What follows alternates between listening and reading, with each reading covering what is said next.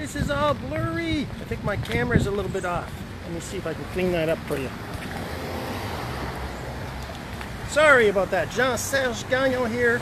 So do you sometimes think, oh, I'm, you know, I don't have to worry about my audience. I'll just post whatever I feel like, right? And uh, if you do that, you're just gonna, you know, alienate your audience. And so it's really, really important. So this morning I want to talk about, you know, it's about your audience. Remember, remember your audience. I mean, your audience is your lifeblood of your business. If you, you know, you can change your audience. You know, I did that, but you got to be really careful. And when I did it, I did it wrong.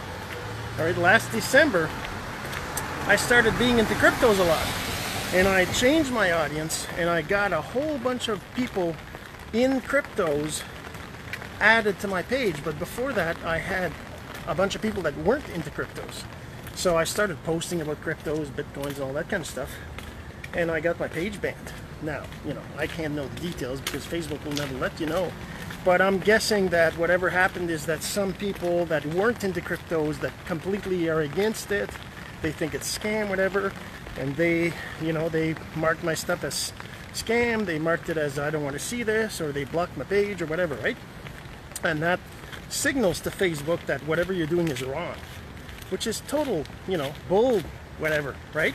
Because it doesn't have to do with the fact you're doing something wrong. It's just because your audience isn't right for what you're doing. So you got to be really careful, and you have to remember your audience.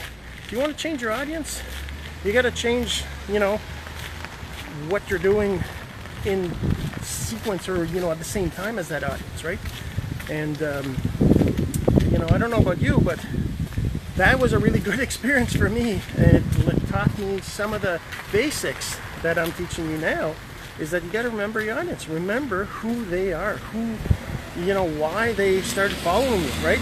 The reason why they started following you might not be the same as you know what you're doing today, and you got to be careful if you do that. If they they follow you for different reasons, and uh, you know what? I have people that follow me for different reasons because I did different things over the years.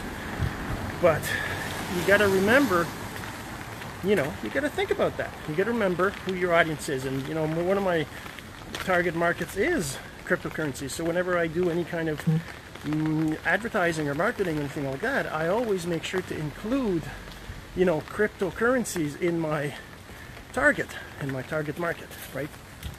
So you got to make sure you include things that are specific to your your audience. So remember your audience. Make sure you remember your audience. All right.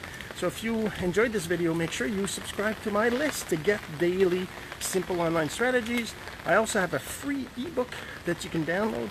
Just uh, go to masterofsimple.com and you can get that free ebook right now. Get the top 10 simple online strategies to your inbox and subscribe to my list so you get these simple online strategies daily. Have yourself a great day. We'll talk again soon.